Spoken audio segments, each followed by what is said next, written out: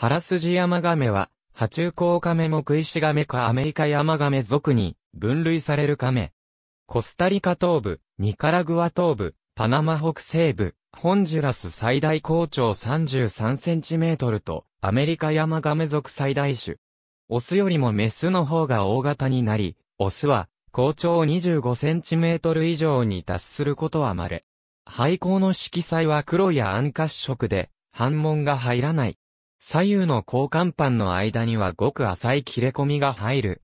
復興の色彩は黒や暗褐色で、外縁や甲板の継ぎ目は単光褐色や開白色で特に復興の成虫線上に沿った名植部は大きい。種照明フネレアは黒っぽい地味なのいで、英名は全身の色彩に由来する。和名や毒名ボッチストライフンは復興の中央部の名色に由来する。頭部はやや小型か中型。粉端はやや突出し、上顎の先端は浅く凹む。交際は褐色や暗赤色。頭部の色彩は黒や暗褐色で、目後部から後方に向かい一本の黄色や淡橙色の筋模様が入る。粉端と目の間や粉端から上顎にかけては、明瞭な反紋が入らない。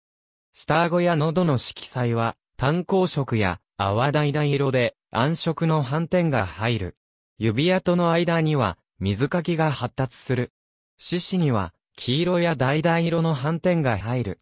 大型個体では頭部の反紋や獅子の斑点が不明瞭になることが多い。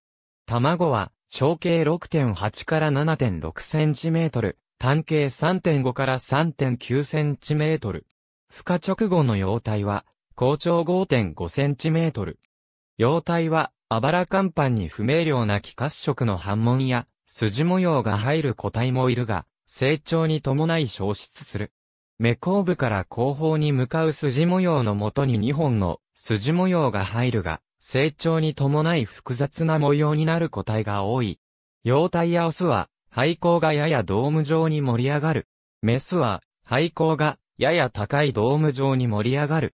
各 DNA とミトコンドリア DNA の分子系統学的解析から族内では、アシポチヤマガメ、カンムリヤマガメ、クロムネヤマガメ、ハナトガリヤマガメ、ミゾヤマガメと単系統群を形成すると推定されている。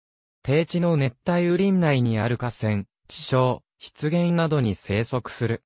多数の個体が集まり、水辺の木のや倒木の上で日光浴することもある植生は、植物食で、草、木の葉、果実、シダなどを食べる。繁殖形態は卵生。1回に3個の卵を最大4回に分けて産む。生息地では、食用や薬用にされたり、民芸品の材料とされることもある。ペットとして飼育されることもあり、日本にも輸入されている。コスタリカやパナマでは野生の亀の輸出が厳しく、制限され、ニカラグアやホンジュラスでも亀の輸出が制限されるようになったため、流通量は少ない。